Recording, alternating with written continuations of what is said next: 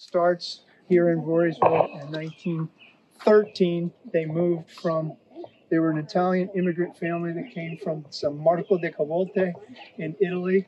They came originally to Pennsylvania. My first two aunts were born in Pennsylvania. In 1913, they moved to Voorheesville and they lived here as a minority community. And uh, eventually, my father was born in 1915 on Prospect Street uh, by a midwife in uh, there was a Italian area down there. Um, so that's where my history comes from. Eventually, my grandmother had she was a Ricky. I don't know how much you know about the Rickies.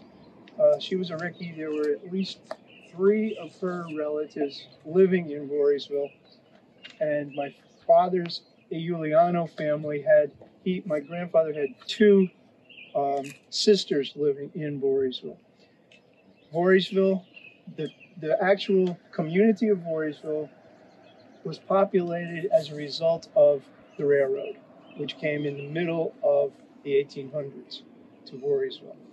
Most of the statistical data, dates, and stuff that I will be giving you come from Dennis Sullivan, who is the Village Historian's book, Voorheesville, a sketch of the beginnings of a 19th century railroad town. Please keep in mind that yes, Warriors, the, the, what Voorheesville is today was a result of the railroad.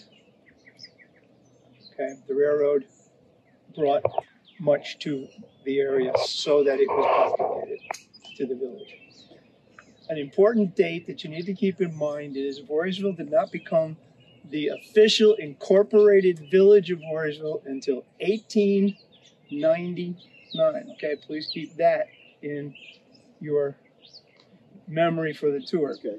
Dennis is Dennis wrote this book. Dennis is not a, a native Voorheesvillian. He came here. He was a professor and a writer, and he wrote this book in 1999 for the 100th anniversary of the village of Voorheesville. I have been told by the Historical Society, which is in New, New Scotland Historical Society, which is in New Salem, that this book is available for purchase there. Uh, and it's, I believe it'll be its second edition.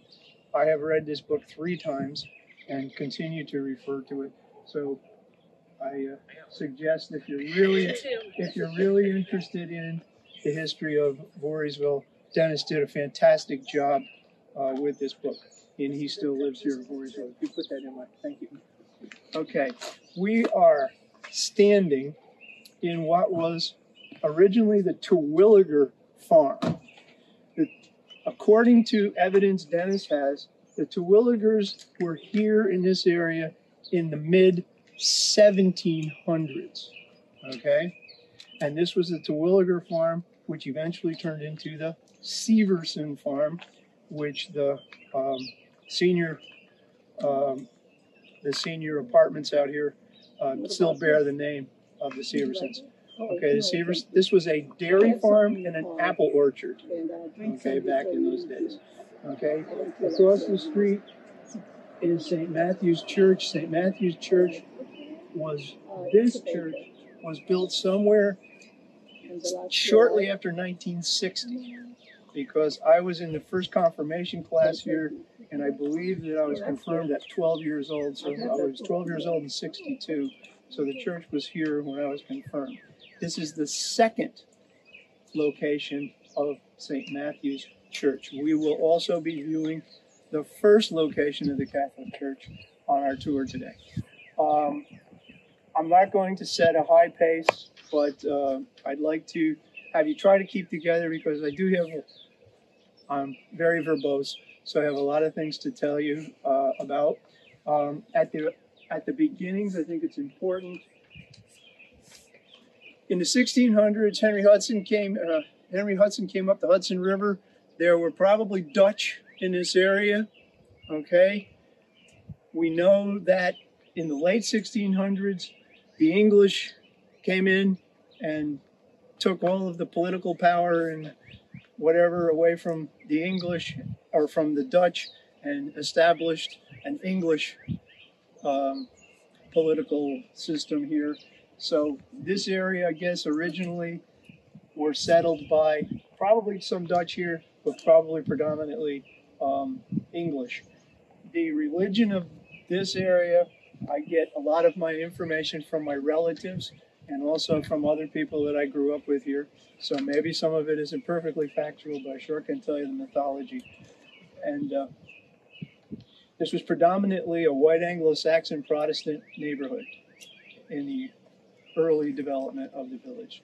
We're going to proceed up the street here and we're going to go, our next stop is going to be at the, um, at the elementary school where we'll talk about the history of, the short history of the school and the school district and how it became originated.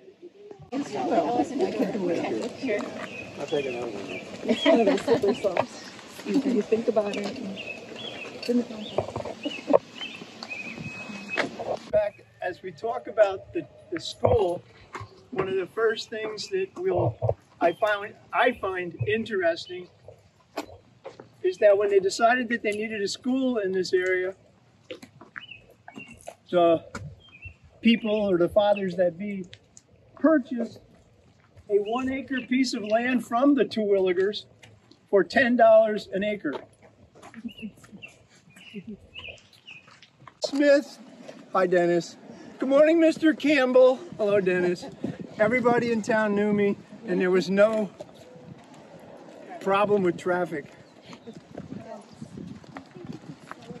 The history that I ran across uh, in, in, the, in the 1980s, a couple of teachers from the high school decided to do a history of Warrensville, which I have at home and have read.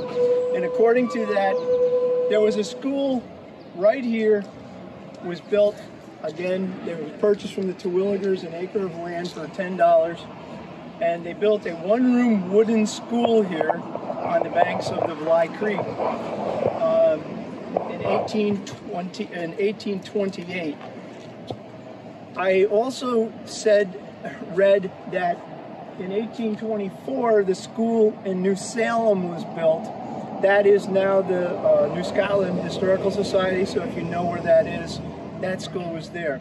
I also have read that in the town of New Scotland, or within the regions of New Scotland, which this was known as before, before it was known as Voorheesville, there were 16 schools, probably, probably elementary, okay? Probably elementary.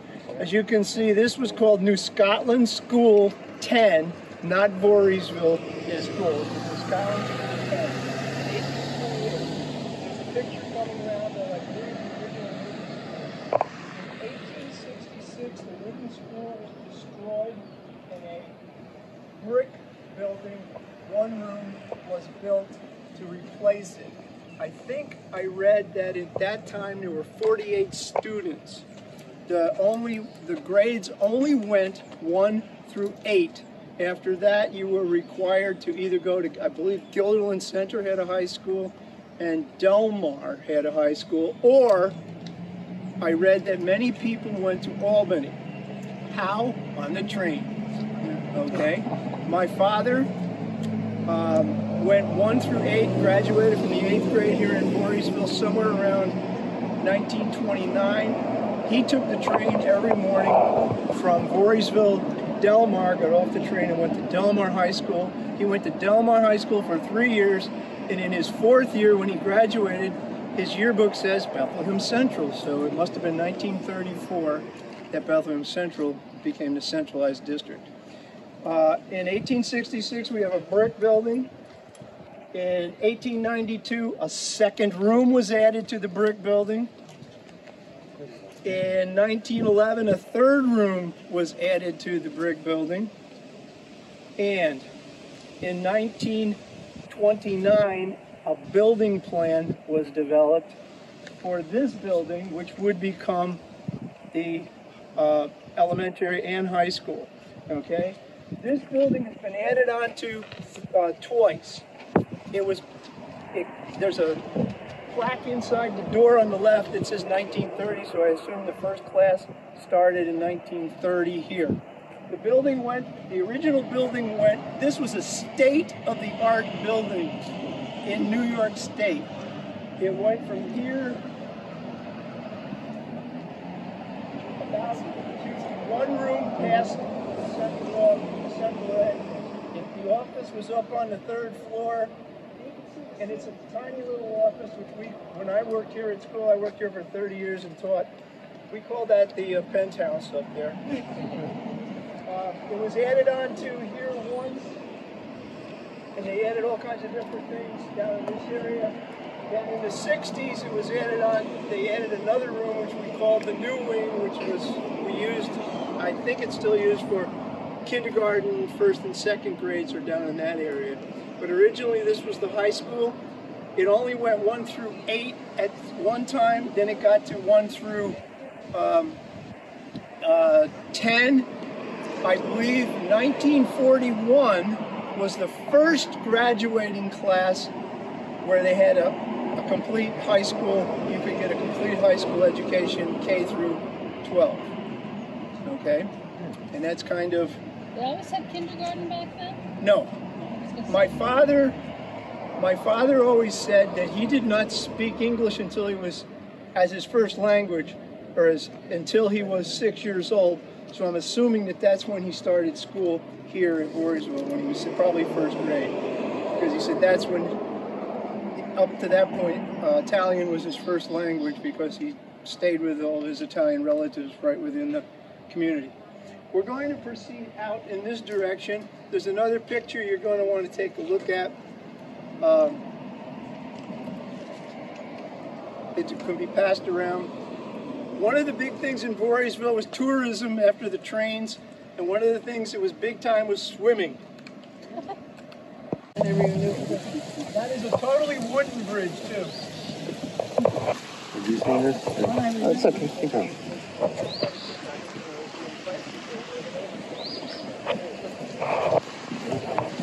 Who enters this was a high which brought tourism to Voorheesville, which was called Windlespecks Grove. Windles, Windlespecks Grove. Windlespecks Grove Is was that the name? for Yes. Somebody's name? yes. Okay, I'm going to tell you. The pool was over. They put a concrete dam up. You know how the, the athletic field goes here? It was on the creek on the other end just beyond the uh, athletic field.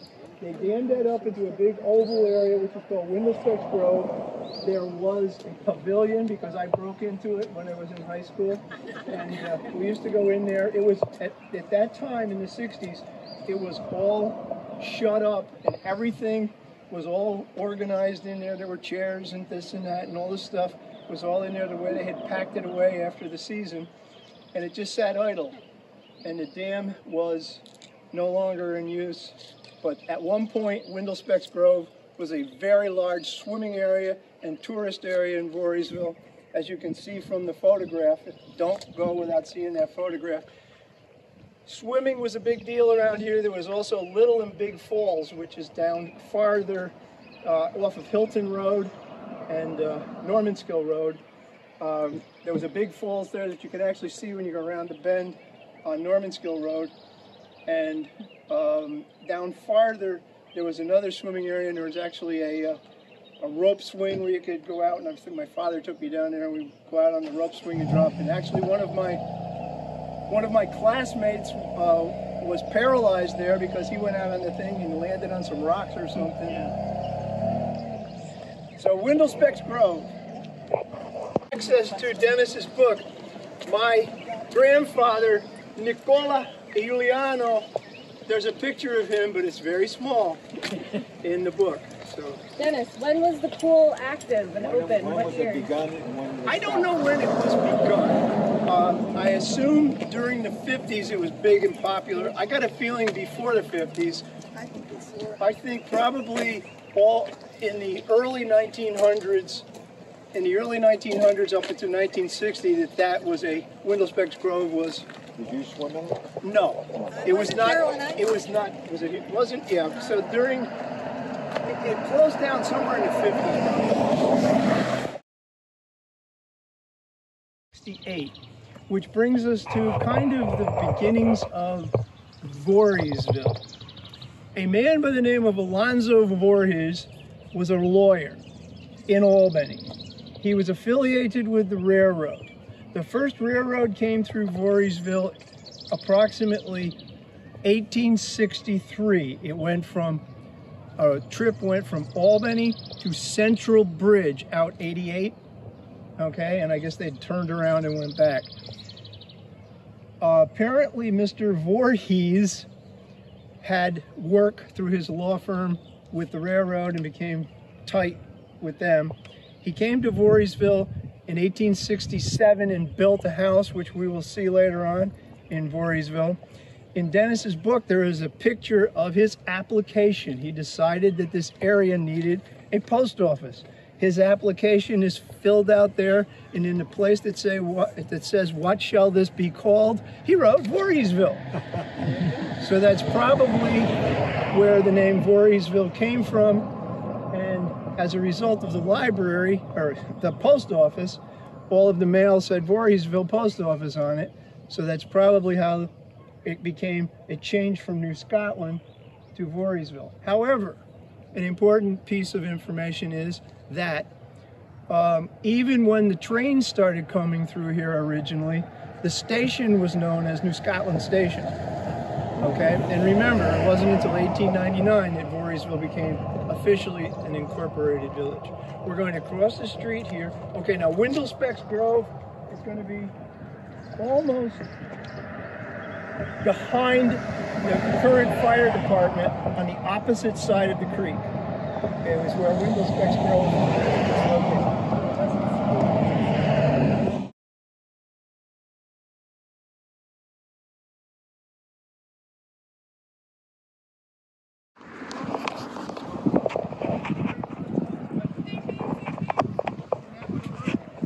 Service people in this thing to come out, and they would come out, wash your windshield, check your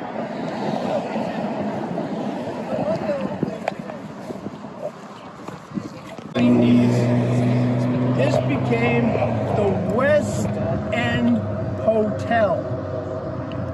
By that point, the railroads had made Voorheesville blossom into a tourist area, business area. The village actually, by 1900, the village actually had three major hotels. This being the least major of the three hotels. This hotel had um, rooming at the second level. They had uh, beverage on the lower level and food, uh, and that was about all that this hotel that this hotel could offer. But and it was the, the lower of the uh, hotels. My history tells me that in that in this area, many many people rented their homes, and that there were ho- uh, like be for like B and B type things during the summer because even the hotels could not house all of the people that wished to come to Voorheesville. Voorheesville was very popular getaway summer retreat. Uh, there were the Helderberg Mountains, the Indian Ladder Trail, uh, the swimming areas, uh, and when we see the Grove Hotel was the Cadillac of hotels here by the by 1900 and it offered amazing things and we'll also see another hotel which is called Harris House which is more close to the center of town okay this would later be um, they actually called it Brookview uh, Hotel and then later it was bought out by the Smith family and the Smith family made it into a tavern uh, in the my uh, this the tavern at that time again everybody here called it Smitty's. There were two Frank Smiths, the original Frank and his wife uh, Lil uh, ran it. My father was drafted into the service for World War II. He praised Mrs. Smith, Will Smith, as being the mother of Voorheesville because he said, and there are copies of these letters at the uh, Historical Society and the Voorheesville Public Library has a whole Smith file up there that you can look at by inquiry. Uh, you have to inquire and make an appointment to see it. But she wrote a letter, I believe, every week, Dad said, to every member of man who was in the service during World War II. And she listed all of the guys that she had gotten letters back from, what they were doing, where they were, what was going on in town. And he was very taken by her tribute that she paid to the service people. They that family started making pizzas. I can't remember when, but they my mother said she started getting some kind of a Bisquick mix or something and started making pizzas.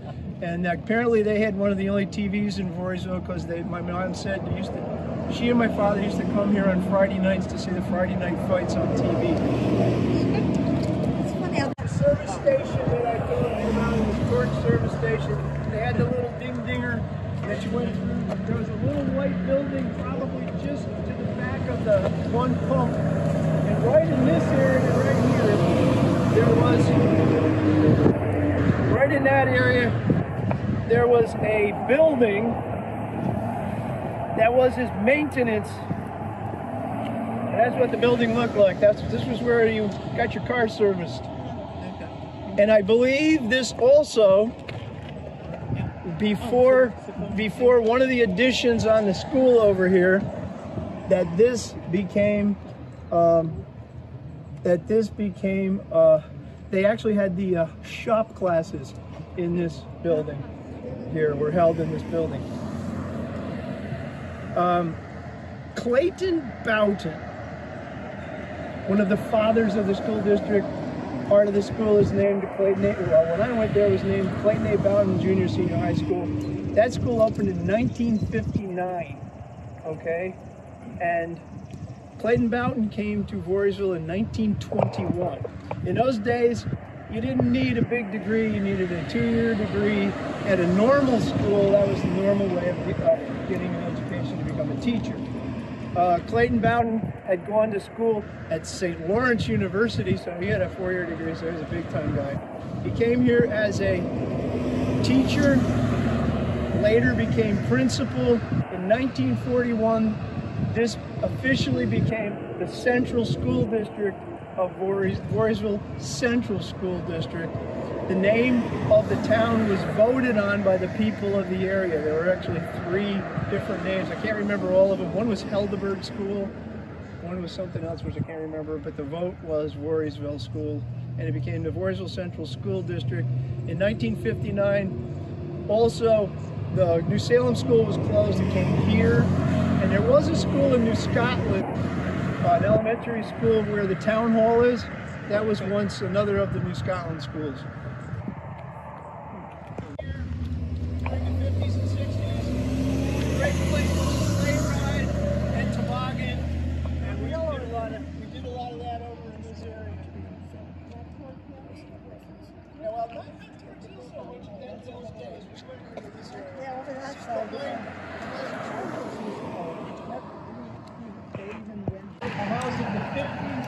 After World War II, uh, ranch houses became very popular because of their economic layout. They were very economically laid out. They weren't very big, but they were affordable, and you could have three bedrooms and raise a family pretty well. Street in Voorheesville, that area was developed, all those ranches in there off of Pine Street were developed right after the war, and you can see a really good example of the 50s uh, ranch houses. This is my elementary school best friend Sandy Thielander's house. I used to come here every day. Didn't know till later that that, that building in the back uh, originally, well, I think home economics would have been, and home Okay. careers may have been in that, and also I think the original first kindergarten was in that, was housed in that building before there was an official area for that in the school. That was, those like shop and home economics and kindergarten didn't get added on to the school until after um, this, the next edition was put on that. Originally, that brick, that big brick building came in the 30, in 1930. It had 17 rooms, and it also had an exciting thing.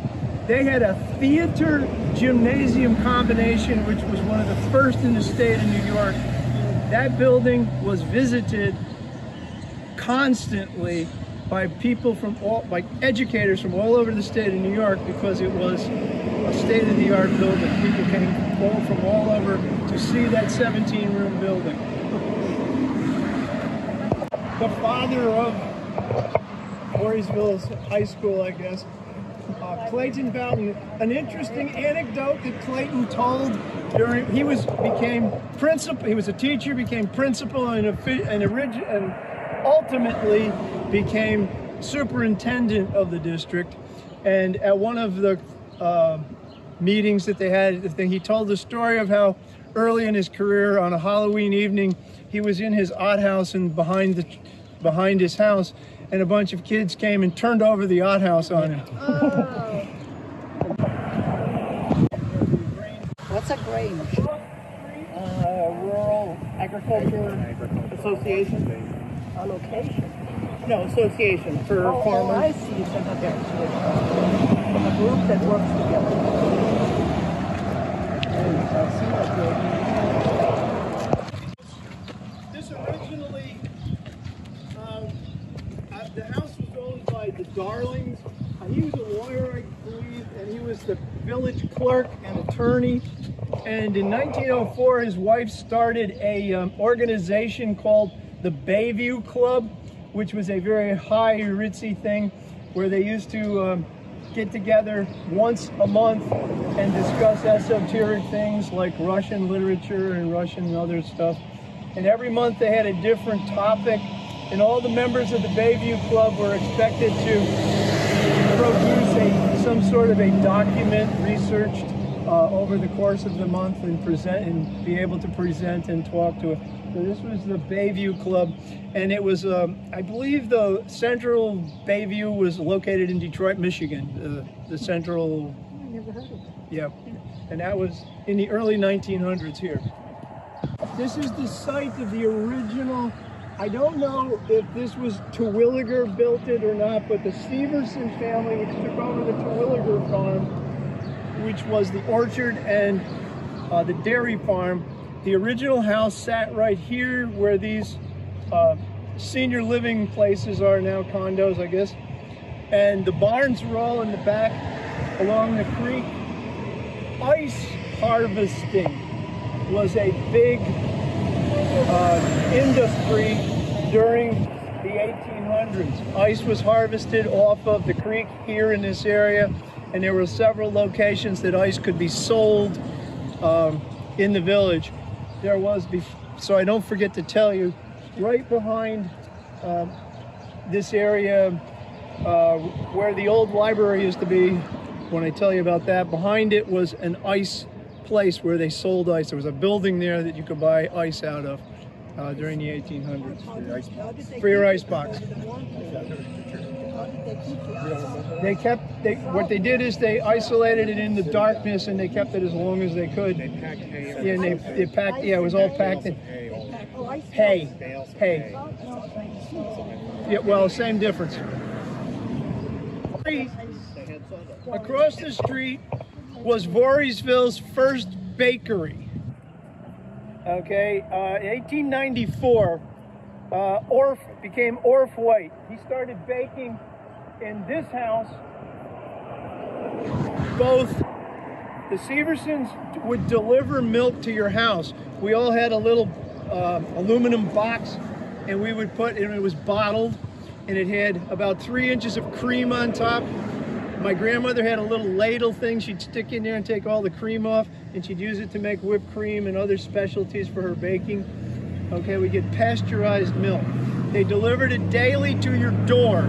You would leave your bottles in the box, and whatever, however many bottles you put in the box, they would replace, and they'd give you a bill, and you'd put your, actually would put your money right in the box for your uh, weekly, uh, whatever you owed. Mrs. Severson told me that they used to peddle milk. She called it peddling Oh, milk. right, exactly. How hard it was in the winter to get up some of the driveways, and I can see it now when I look at those. Well, the bakery, White's Bakery, started baking, and they would also deliver. They would also deliver to your door. Now, the interesting story about the bakery is, White starts the bakery in this house, and it's not he doesn't have the space or the ability to have an oven. So he goes next door, and they allowed him to put the oven uh, to put the oven in the basement. So he was actually having his bakery here, but he was baking his stuff over here in this house. Is across the street. The original building, which you can see if you follow the roof from the front to where it ends, the first part ends in the back, the original bell tower. This is the uh, Methodist Church. In 1815, Methodism officially, I guess, becomes to Voorheesville for this area. It was called the Black Creek Methodist Society in 1815. Uh, check my notes on uh, 1824, somewhere between 1824 and 1828, the original section of this church was built. However, the interesting part of it is it was not on this location. That church was built on Altamont Road. If you drive up Altamont Road, as soon as you go past the fire department and turn off left to go to Altamont Road, look quickly to your right. There is a marker there that shows that tells you where the original Methodist church was.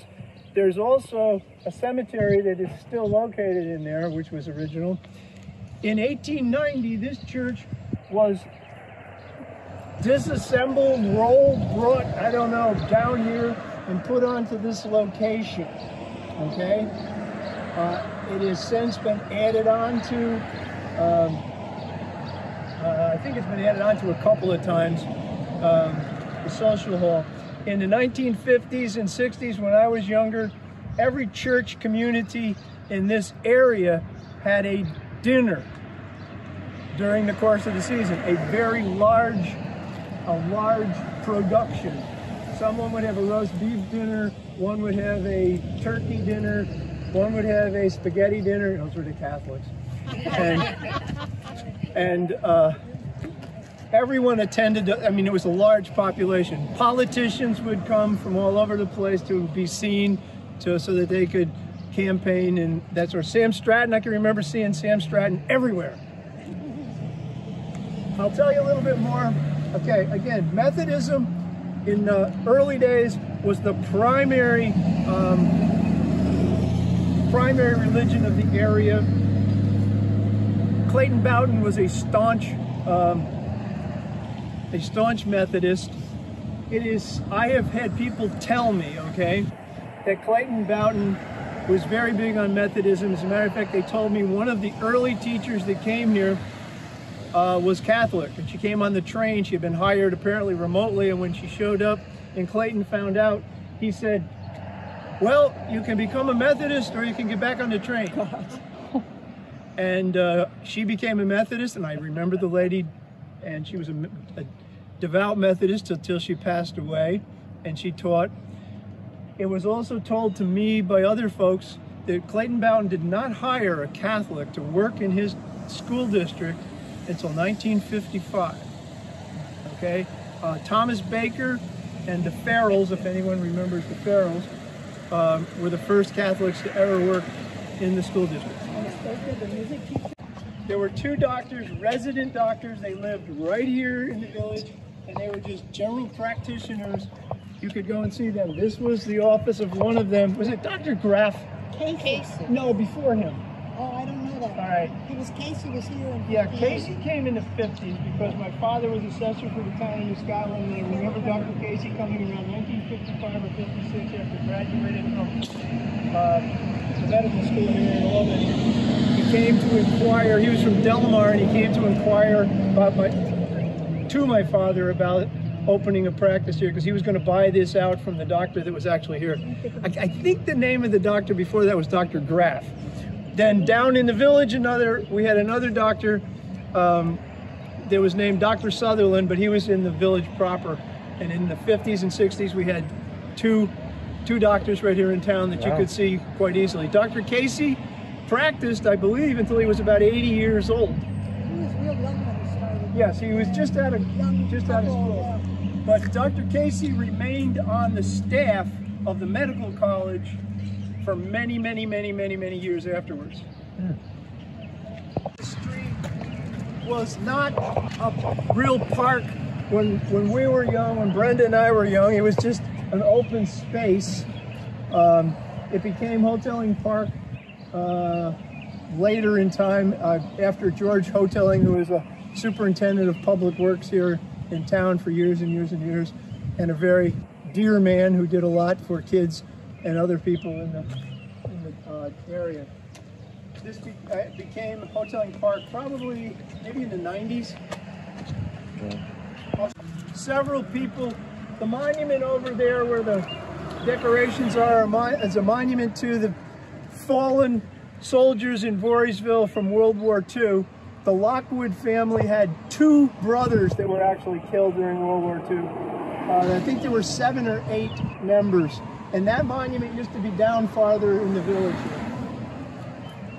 1887, the village was pretty populated. Again, the village came from the railroad and built out from the railroad, okay? You got to think of it in that. In 1887, the Methodists got apparently their first live-in pastor, and they built this uh, parsonage. This is the parsonage. And by 1888, they were living in this parsonage, which is the reason that the Methodist Church was moved from its original location down here uh, because the Methodists decided that the church needed to be near the parsonage, which needed to be more in the central uh, location of the quote unquote village proper. Building across the street, which is probably one of the most uh, interesting buildings in the village, the best I can find is that this building was built somewhere between 1900 and 1925. A very distinguished businessman, I believe his name was his name was Vunk, but I think it was Oscar Vunk, lived in this building. He ran a grist mill down in the village, which was enormous, which we will show you the site when we get there. His son, George Vunk, became became a mayor of the village of Voorheesville. He lived in this house with his family. Um, then it became the Meisenheimer house, and then it was built, or uh, was bought by Riley and Son and turned into a funeral home. When I was a boy, this fancy building was called the Mayor's Mansion because Mr. Vunk lived here. So we used to re refer to it unofficially as the Mayor's Mansion. The park belonged to the belonged to the Vunk family, and then it was do donated to the village or whatever. Is possibly the oldest this is the oldest house in Voorheesville. It has been remodeled and changed over time. Uh, dates back to 1810. Our village historian, Dennis Sullivan, who wrote the book I refer to constantly, currently lives in this house and has been living here since he moved to the area. So this is the oldest house, approximately 1810. Across the street, let's see, one, two, three doors down from the Methodist Church, there's a sign, and the sign tells you that in 1787, there was a grist mill located over here. Now, 1787 is actually two years before the U.S. Constitution, so you can see, I don't think, there's no evidence that there was a house there, but it was a grist mill there, and it also later turned into a carding mill. Okay? What's a grist mill? Grist is. And it was it was developed because of the they could use the water power on the tree. And then when it turned into a carding uh, mill, the carding is wool, where they make the wool stuff. All examples of the older dwellings. We're probably pushing 200 years on a lot of these buildings if not already there.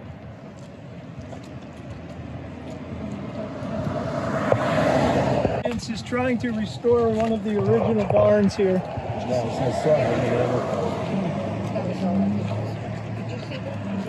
Positive in what this looked like, but in 1895, the first telephone lines were brought into the village area. And according to uh, approximately 1917, in this building across the street, uh, maybe that building or something on that property became the telephone exchange. Uh, when I was a boy, we had to you had to pick up the phone and go, Alice, would you dial la la la? And a lot of the uh, a lot of the lines were party lines too, so you could also pick up the phone and someone else may be talking on the phone because two or three families would share one line, so you had to wait till they got off. So ho- you hopefully had uh, people on your line that weren't too verbose. The- the gentleman that owns Riley and Son, this is this is the son of the original Riley, and now he and his sons run, and his wife all run the Riley Funeral Home. This began, but somewhere. This used to be the original village park where the monument to the World War II veterans was located. There was also a house over here originally, which is no longer around. And the monument used to be right here. And on Memorial Day, we would have a parade down through the village. We would stop here. The veterans would present a wreath at the monument, and then a select guard would actually fire a salute, uh, three or four shot salute to the veterans. And it was very, uh, very uh, interesting and dramatic. Funeral parlor, not the first funeral parlor in Voorheesville. Then Riley and Son. This was a funeral parlor. It's now a um, apartment. Very important. In 1902, the Voorheesville Hose Company was established, and in 1911, this building was built. Downstairs, there was just one area. They had their push cart thing that they did for their fire company. Okay, that was down on the lower level. Up in the left-hand window, at one point was the Voorheesville Public Library. Okay, on the right-hand side window was the Voorheesville Savings and Loan Association. Okay, that is not the first location, however, of the library. Now let me figure. I think it's either the second or third location of the Voorheesville Public Library. Okay. Say it now while we're here. This is was originally the Masonic Temple. It was built in 1908. This building was all the Masonic Temple. On the area at the top, not, I'm sorry, this was Oddfellows Hall, I'm sorry. Um, this was Oddfellows Hall, which is like the Masons. It was an organization like the Masons, a brotherhood based on faith. And they had up on the roof, I'm not sure of all of the the in, the intricate I don't know the secrets and everything of it, but they had a temple on top. I have seen it, and they had all kinds of rituals and things that they went through uh, on there. I would say that the building became the Voorheesville American Legion sometime between 1945 after the war and 1950. My father was a um, charter member of the Voorheesville American Legion after he returned from service in 45. So somewhere between 45 and 50, I would say this became the um, right the the Voorheesville Legion, American Legion. This place was very important to Voorheesville because it was able to provide many things. They had theater in here. The first baseball, uh, basketball game was performed in the village here at this, but apparently the uh, Oddfellows didn't like them playing basketball in the building. So not only was tourism important in Voorheesville, but sports were very important in Voorheesville. There's in, in 1914 there is evidence that there was a professional basketball team and a professional baseball team, and one of the teams actually won a championship. It was not unlikely to have 500 to 1,000 people viewing a baseball game in town. Down in town where the laundromat is, there was a, a house there or a building there that was called the Voorheesville Athletic Association. Okay, the Voorheesville Athletic Association. There's a story of how they played on the second floor, and uh, it was not uncommon for disputes or fisticuffs to break out during a game. And apparently, one of the fans actually fell through the floor in the building. That's how he used to go to the movie. When we were, when Brenda and I were kids and the American Legion owned the place, for 25 cents on Saturday night, they put in a uh, movie theater. They had a big projector and up where the state, there were vaudeville, no, not vaudeville.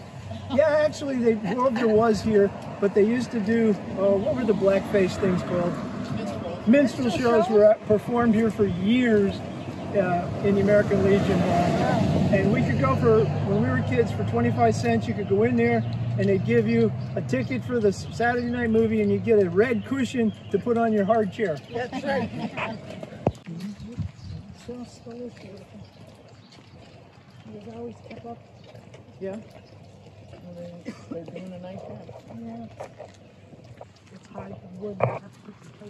In nine, when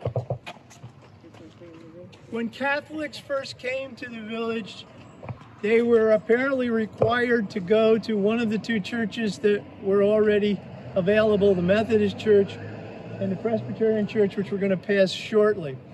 In 1916, my family, the Italians, the Polish, and a few Irish decided that it was time for a church to be built. They started a building fund. Prior to that time, the Voorheesville Athletic Association allowed Catholics to meet in their building, and a, a priest from St. Lucy's Church in Altamont would come down uh, and say a service there. In 1916, the building fund was able to fund the church on the hill. This was the first church I was probably baptized. I know I was baptized in this church. If you look carefully at the steeple, you can actually see from this location and from the picture that Colleen's passing around that there, the Wellman family donated the steeple. And the Wellman family had clocks arranged on the steeple. You can actually see one of the remaining clocks on my right. There's a clock on that side, there's a clock facing that way, and there's a clock facing that way. You will notice there is no clock facing this way because when Mr. Wellman gave the money to the village, since the Protestants of the neighborhood did not really respect, re- weren't very respectful to the Catholics in the area, he told them that he was not going to give them the time of day. Location of Albright's Butcher Shop, which was the first, I guess, butcher shop in all in uh, Voorheesville. Um, this butcher shop turned into when we were kids. This was the main drugstore in town. It was Johnny Heller's drugstore.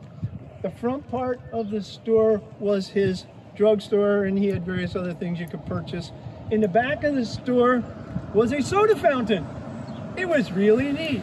And you know, I don't know if you guys remember those little stools that had the red thing on the seat and they spun around. Well, there was a there was a counter back there with those little stools and things, and you could go in there and order ice cream or get an ice cream soda.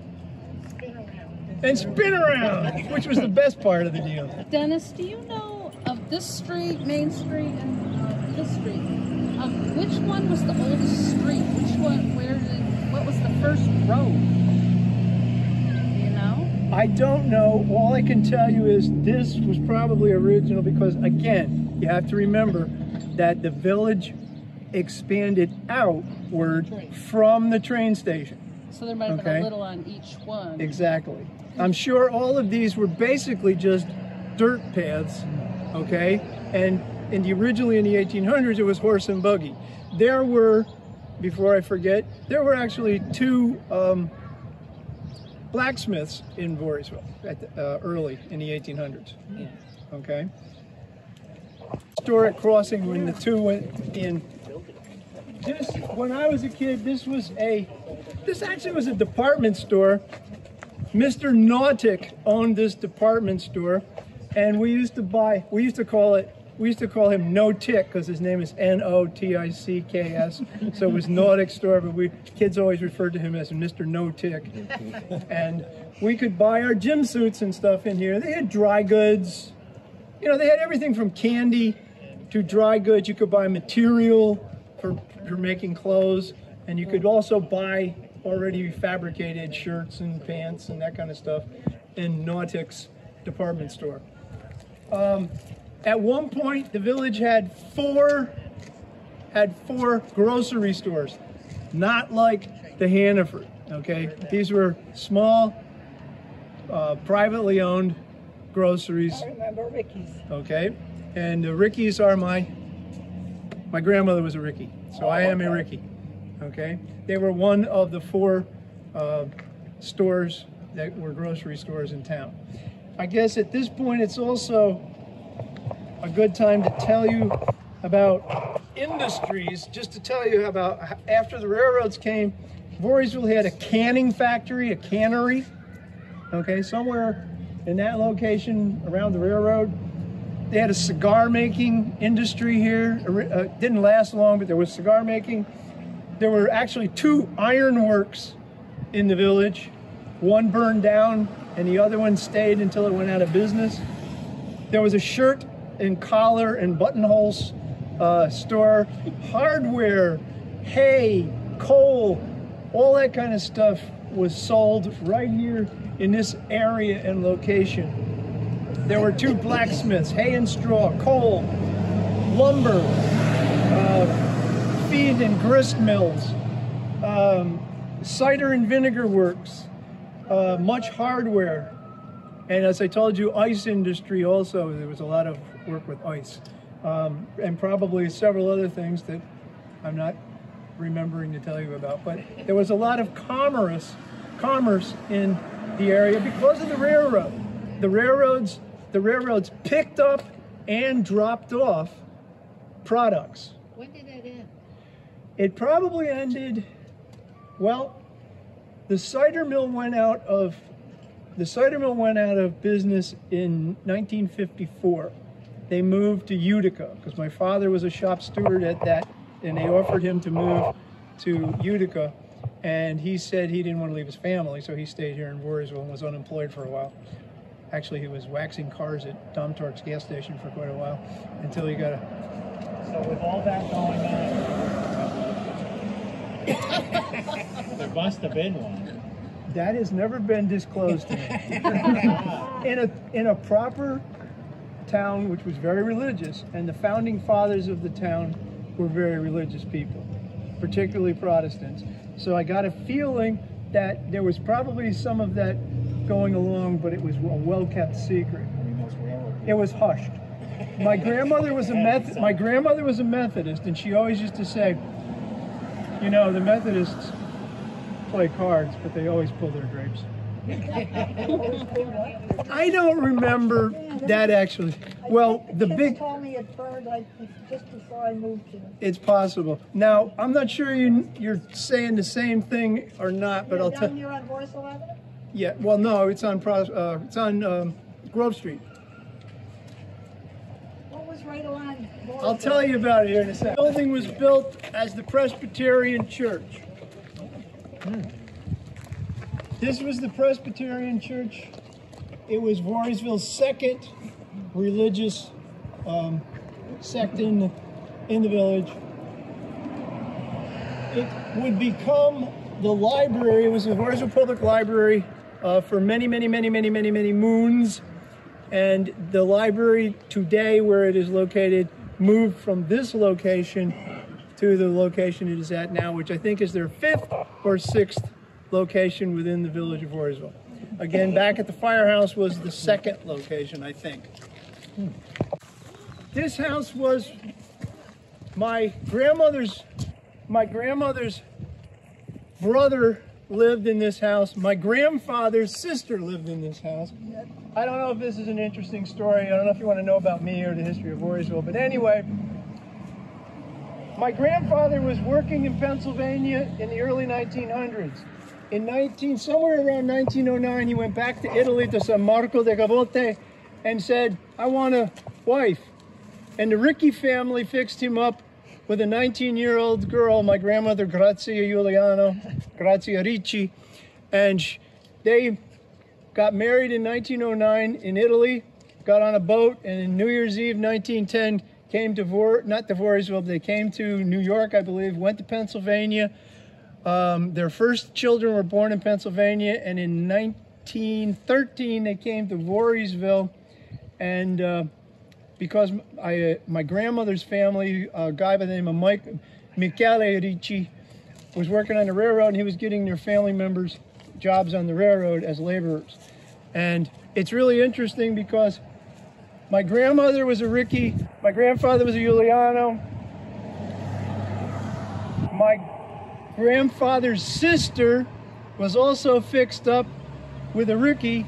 So the Rickies and the Giulianos had two people married back and forth across, and this was where my uh, my grandmother's my grandmother's brother and my grandfather's sister lived here in Voorheesville also, and again they had two or three of each side living here in the village. And I lived there. And you lived there once too. Did they build a house? I don't think they built this house. Okay. The ice, one of the ice houses, one of the ice houses was located behind the Presbyterian Church. Up that street and across. Oh, up. Okay, and that's called Street. Pleasant Street, which is also known as High Street. I guess that's unofficial. Yeah. Yeah, and you could get a really nice look at the village. Somebody had a picture on Facebook a little, couple weeks ago, facing down from up there that it was taken years and years ago, which was really nice. And it all, I think it had in the picture a picture of a water tower which was on the uh, railroad, because originally there were steam engines, so you had to have water for the original funeral home in Voorheesville. Oh, okay. This one right here, 31. 31. You know what it's called? No, I don't really. I don't think.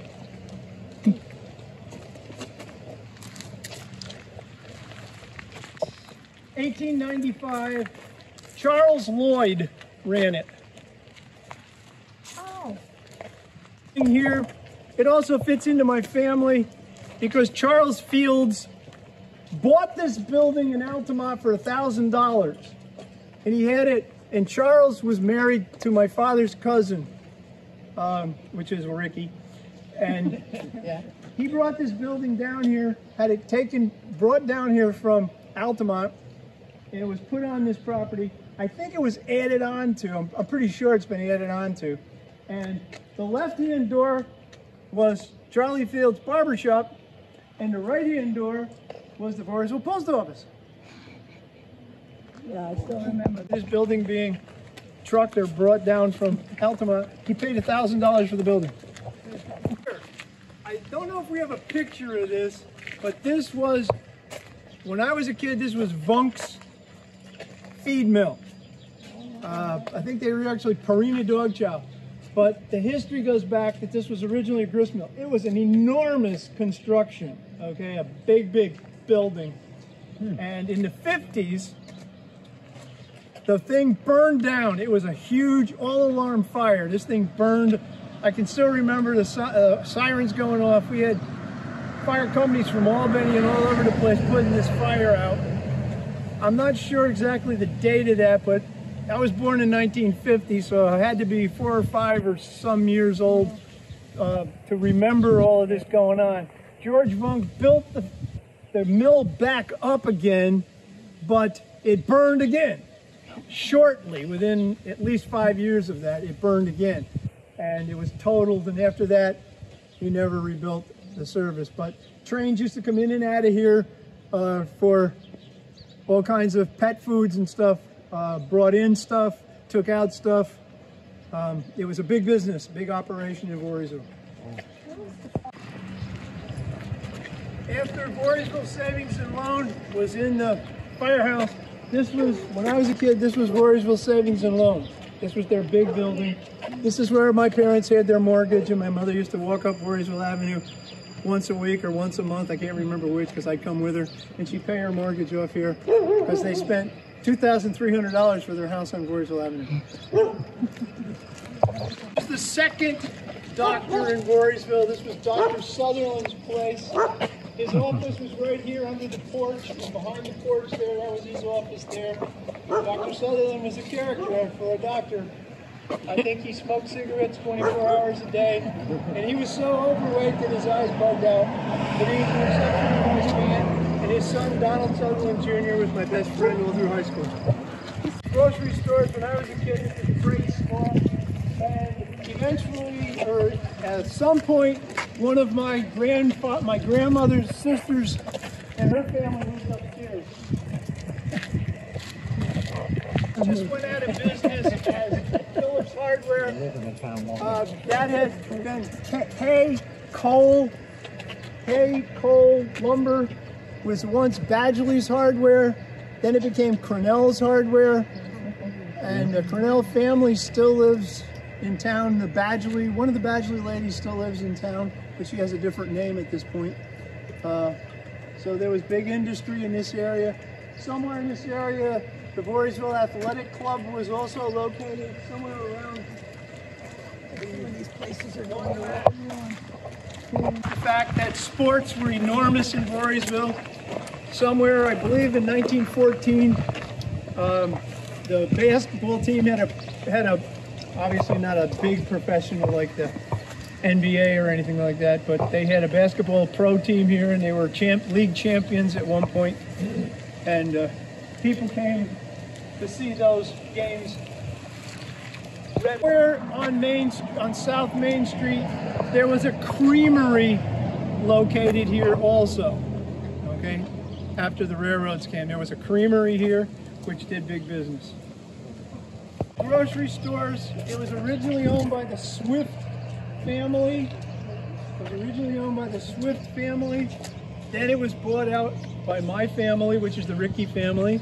It became Ricky's Market. I believe, I got a feeling that the grandfather Ricky was Mikali Ricci. I theorized that he was the railroader that worked on the railroad that brought my grandfather and many of the Ricky family to Voorheesville to work on the railroad. The son, Charles Ricky, was my grandmother's um, my grandmother's brother.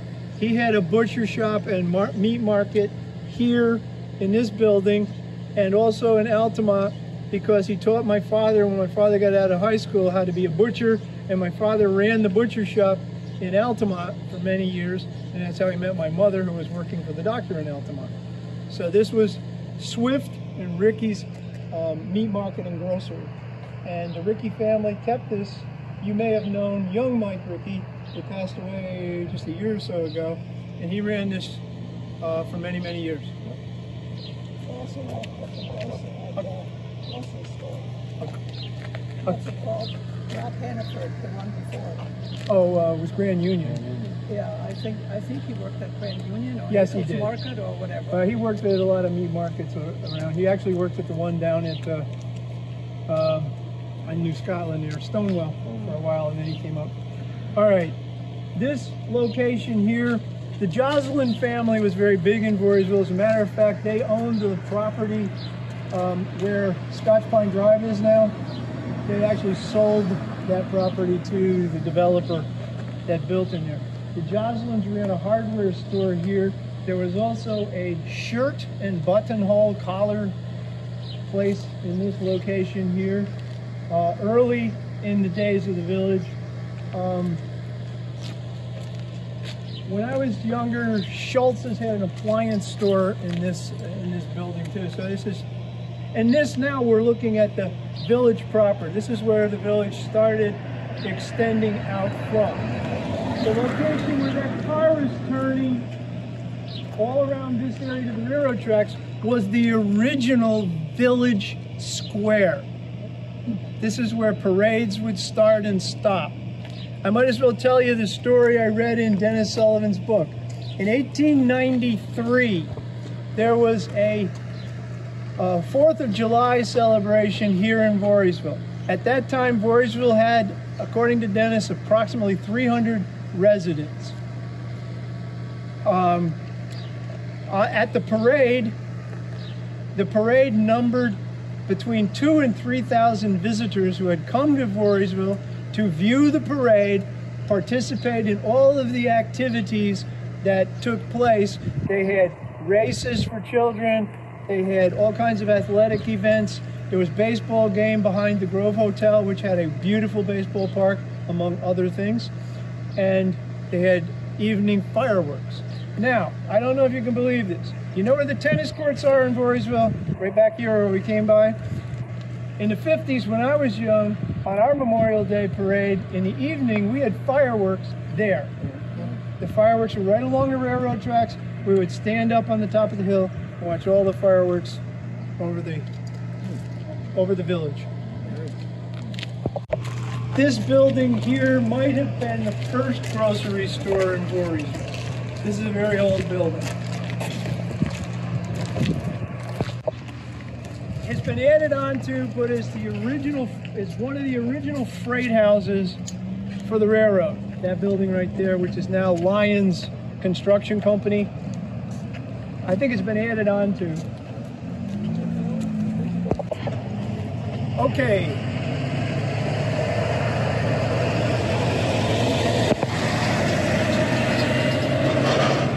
Voorheesville, I told you, had three hotels. The Cadillac Gold Medal Hotel was located over where the pavilion is now in the shape of the original railroad station. That was uh, Friars Grove Hotel. That place was a Showtime Center. They had, I believe, 50 rooms. The Grove in the back was had a reputation for being immaculately kept up. People came out here to get married. There were there's talk of thousands of people like teachers associations and other business associations would come by train to stay at the Grove Hotel to have their conventions and conferences. Also in the summer, tourists from all over Albany and around surrounding areas would come to the station, which was located over in that area. The Grove was the Cadillac of hotels. This you are looking at was the second elegant hotel in Voorheesville. It was called Harris House. Harris House had beverage, they had food, they had vaudeville-like acts, singing, music. It was a place that people like to come to, okay? Um, there was my father used to tell me that each of the towns and local localities would have uh, things like they would sponsor a boxer. And a lot of the taverns had their own fighter that they would um, promote.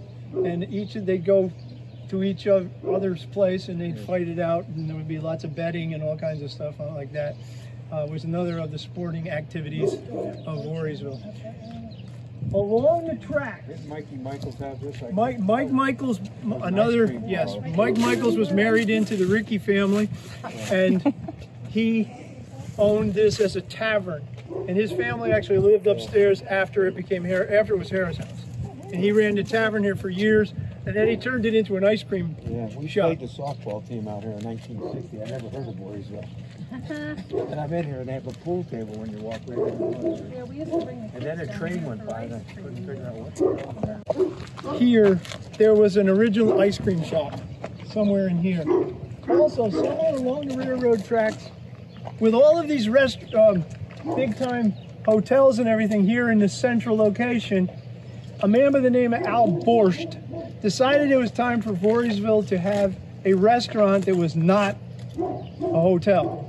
It was just a family restaurant where you could come and get real food or regular food. And he built the restaurant in this area, um, which is called Al Borscht's Restaurant, somewhere in the 1890s, I guess. And you could just go there and get something. But the interesting part about Al Borscht's restaurant was the Jocelyn's, who had a hardware here, were very big time people in the area. And the jo- Mr. Jocelyn decided that we needed to have a library. And the first library that Mr. Jocelyn sponsored was located in Al Borscht's restaurant. So that was the first library. Okay, the second library. Oh, and I also forgot to tell you, in the apartment building that's halfway down Main Street on the left, there's an apartment building. The last door on the on the left was also the Voorheesville Public Library. So the, the library has been moving around Voorheesville for many years. Okay, and that is at least the fifth location of the library where it is today. Dennis, is that unique to have that building built like Yes. that? Is there anything here that forced it to be that way? I don't know if, it- I have no knowledge as to why it was shaped Yeah. in that flat iron type shape. Yeah. But you know, in New York City, there's several buildings. Uh, let's move across. Alonzo Voorhees built his house in 1867. Alonzo Voorhees only lasted in Voorheesville in that residence four years. Four years. Okay? However, there is tale of that 1893 celebration I told you about. He was a major speaker at that uh, uh, Fourth of July celebration. He built this house in 1867, and that location it lasted until then. After he left, it became a boarding house. After he left, it became a boarding house. Now, the interesting thing is, in 1868, he established the Voorheesville Post Office.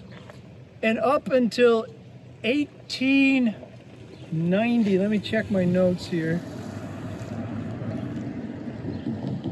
Yeah, 1890, some guy in Slingerlands by the name of Dudley Farland was a railroad freight guy, and apparently he had been in the railroad freight business for eons or something.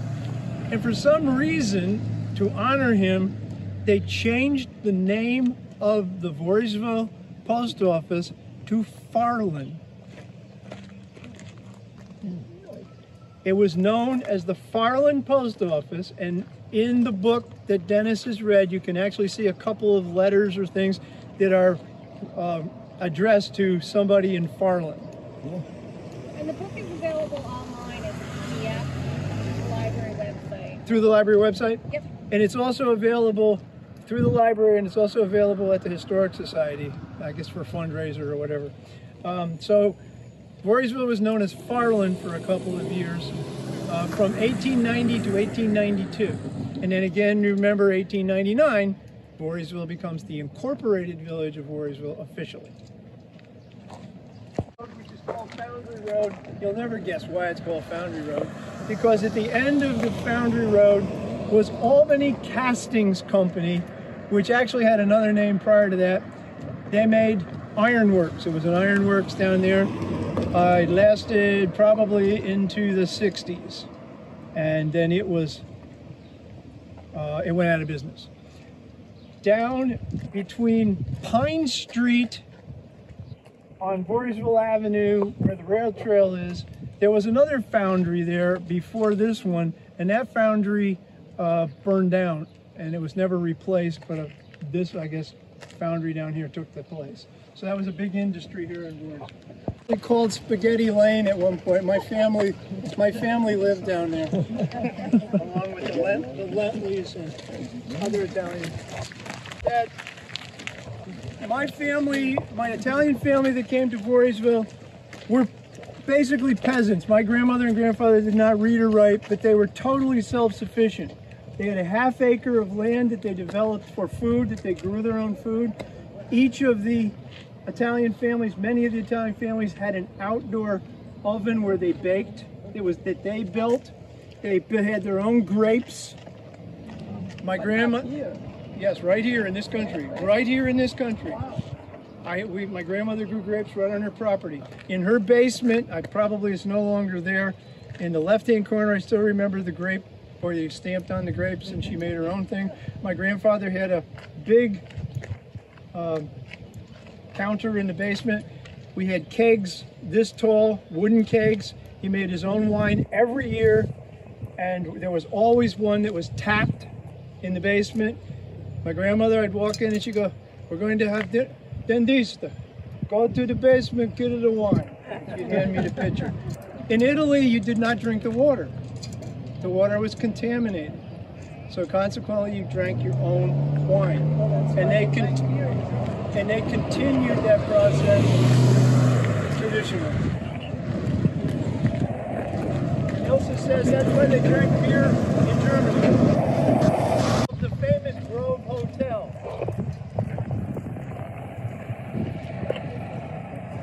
That was taken down in the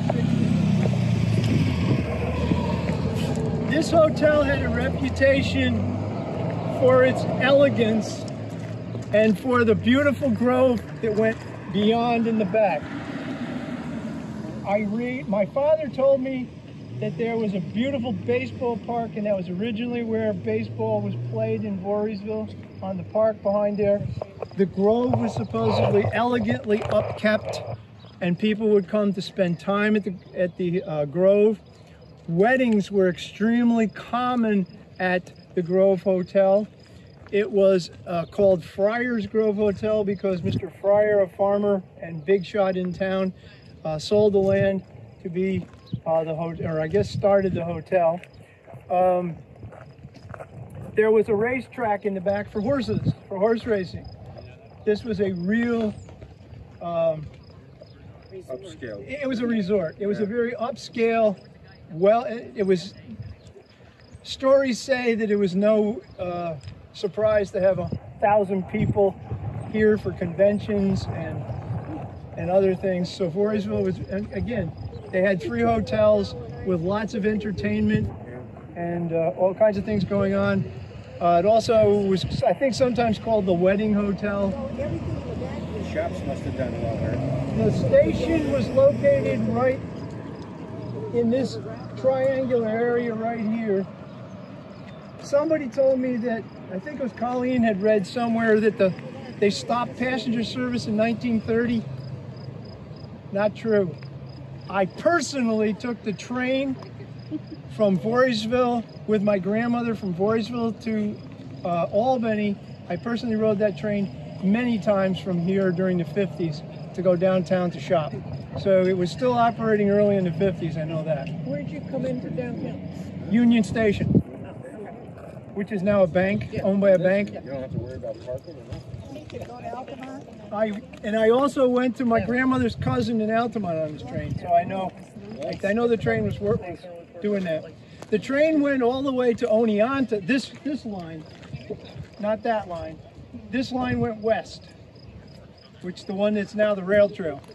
That line went from Albany and it went west. I know it went to Oneonta because my other grandfather on my other side of the family worked for that railroad. He was stationed in um, Central Bridge, and then later he was at the Roundhouse in uh, in um, Oneonta. So, and that one I think it went even farther west. I know it went through uh, Binghamton and probably farther west. The railroad once had a the railroad once had a siding that came off from the main tracks and went down here and crossed the street because it went over into the cider mill, which was when I was a boy it was called at one point I guess it was Empire Cider Mill, and when I was a boy it was called Duffy Mott, which was the father of Mott's apple juice. They made vinegar and cider and other things here at the place. It was enormous. I don't know, do we have a picture? There's a picture of yeah, there's a picture of it. So please take a look at that. We're going to be passing it. We're going to be passing it on our left as we go down the rail trail. Look out for bicycles. Yeah. Oh, And then it became Duffy Mott Cider Mill.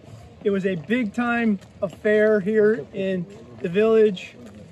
Actually, there was another cider mill in this lo- in this area, but it was you know where the light is at the end of Voorheesville Avenue by Johnston Road. That area there was one uh, off to the left there. There was another cider mill there. Back on Foundry Road, at the end of Foundry Road, somewhere in that location there, there was a canning factory also. And you can see everything was kind of pushed in around the railroad area. The building the building that has been put up over there um, to begin the rail trail, the top roof of that building is in the same silhouette as the original uh, railroad station here in town. That has the same roof design. It's in the same shape. Tower was located somewhere up in this area. And at one point, at one point in the 50s, maybe early 60s, there was a cement works here also Yes. on that side of the railroad track. Cider mill was located here, which became Duffy Mott. It took up all the area here, went pretty far back, deeply that way, and it went all the way to the end of this of Grove Street. And if I remember, by the time I get there, I'm getting old. The uh, there is part of the original building is still there, but the rest of it has all been torn down to my knowledge.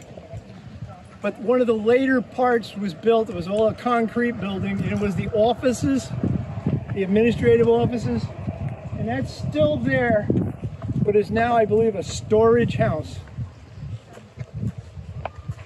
A pair of, located approximately right here, where the trains would back up to the uh, mill, and they would deliver and pick up uh, vinegar and cider that was produced here and take it on to other locations. And I used to come up, I used to live on Voorheesville Avenue when I was a kid, and I would come up here sometimes with my mother because she'd bring my father his lunch and we, dad and I would sit on the loading dock and have lunch together out on the.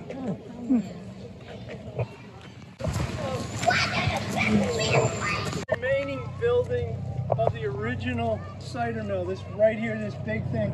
This was all made out of concrete block. This was all made out of concrete block, and I believe it was the administrative offices. It's still in existence. It's been upgraded by the people that bought it out, and I think you can rent storage area in it. There was a foundry right here at one point that burned down. I think, now I'm, I don't have the ver- total verification on this, but if you head down Voorheesville Avenue and go one, two, three houses, there's a big white house that used to be a farm, and I think that was Friar, the original Friar house that gave, that owned all this land in the Friar farm. That careful for the bikes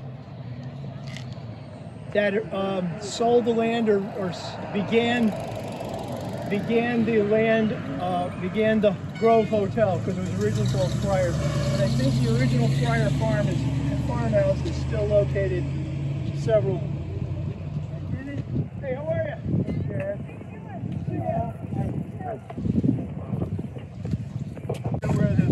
Storage. I don't know that. I can't confirm that he was related because he moved here. He was not originally of a Voorheesvillian Dick Friday.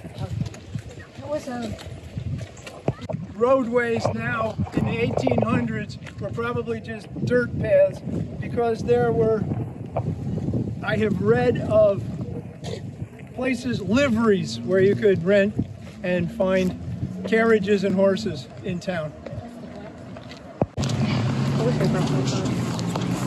my class, graduating class, and we went to school all, all through. So this was not always a car uh, walk place. If the Ravensway family lived here. Society, and I remember Rich getting one of those awards. Very bright. I also understand that Honest Mike, who if you ever knew him, you would never believe this, but Honest Mike was a gr- college graduate and he ran this store, looked like crazy, used to take all these beat up old cars, fix up these old cars, he put them out here for sale. We had we had a, uh driver ed instructor, Harold Mead, who was a lifetime resident of Voorheesville, and also and also an athlete in all of the activities around Voorheesville. He was a character, Coach Mead, and he used to tell a story of, all right, you in driver ed class, he'd go, all right, you guys, You know, you can buy a used car from Honest Mike. You get the Honest Mike warranty. That's 500 miles, or if you can get it off the parking lot. Altamont Road, and we had just got a new driver in, my friend Jeff, and we had a three-speed on the column, and we took off from the curb, and Jeff's going through the gears, and he's watching his hands, and the car's going farther and far left, and there's a dump truck coming down the street, and we're headed right at it. Coach Road reaches over, grabs the wheel, pulls us over to the side of the street, opens the door, gets up, puts his foot out, and he looks at Jeff and he says, when you see me do this, you know you're on your own.